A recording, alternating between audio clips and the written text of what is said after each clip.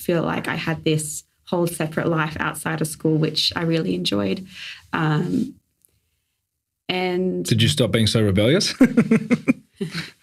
nope. not then, as I as I got more mature in my um, years, I would say I did.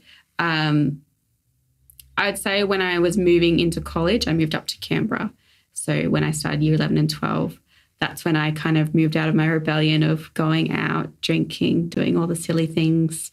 Um, I think because I was the new kid, I had no friends up here.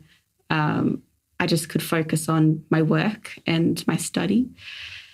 So, hairdressing was, yeah, the first thing I rolled into. I completed my apprenticeship by the time I had finished high uh, college. So, I left college with my year 12 certificate and uh, apprenticeship, which was pretty cool. Uh, I could go straight into full time work.